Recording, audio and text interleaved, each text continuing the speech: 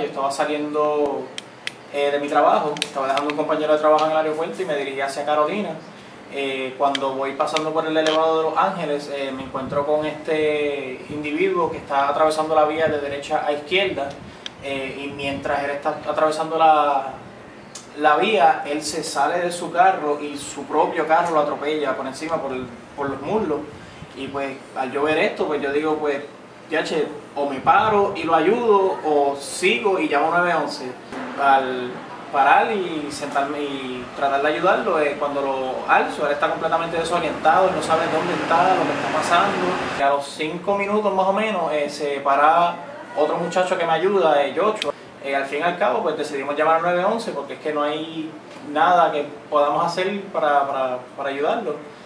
mientras estamos esperando este, los los servicios de rescate, eh, un carro, este, otro, otro individuo este, venía en exceso de velocidad y le impacta a mi guagua y, mi guagua me impacta a mí, este, mandándome por encima del elevado de Los Ángeles, cayendo de 30 a 35 pies más o menos. Al final caí eh, y me di cuenta que estaba vivo al fin eh, pues yo mismo de nuevo, nuevamente llamé al 911 con mi propio celular. Estuve solo, de verdad, lo que hice fue poner música en mi celular para no pensar en el dolor ni nada, o sea, tratando de, desconcentrarme porque no me podía mover, o sea, no, como tenía fracturas en la espalda, pues no, no podía alzar la, la, vista para ver cómo estaban mis piernas porque yo básicamente las sentía guindando.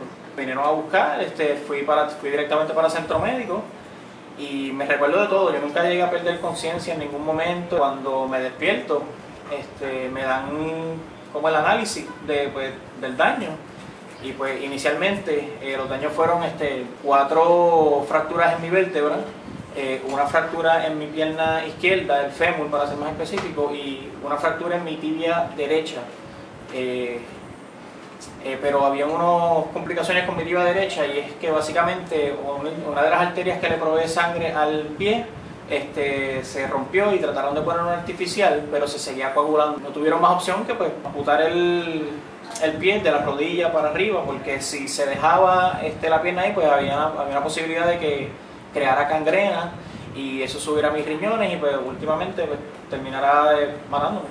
Y ya van alrededor de dos meses y medio del, el accidente. Ahora mismo este, eh, estamos recaudando fondos este, para mi prótesis. Yo estoy con una prótesis inicial como por unos tres meses más o menos, a lo que mi muñón eh, se, se, acopla a la prótesis y entonces es que viene la prótesis, la final, como quien dice. Todo básicamente cambió, o sea, hasta lo más, lo, hasta lo más básico cuando primero llegué se me hacía difícil, por ejemplo, si quería ir para el baño se me hacía difícil, si me quería bañar se me hacía difícil. Definitivamente quiero volver otra vez a estar detrás de la barra y quiero terminar mi bachillerato. A esas personas que van a ver el video, a las personas que van a leer la nota, ¿qué usted le diría? Que por más ganas que ustedes tengan de quitarse, de no hacer las cosas, de, de, de olvidarse de todo, de verdad no lo hagan, porque tienen su salud, están completos, tú sabes, yo con tres cuartos de mí estoy haciendo todo lo posible por, poder bajar esas escaleras y poder irme eh, con mis amigos a janguear y,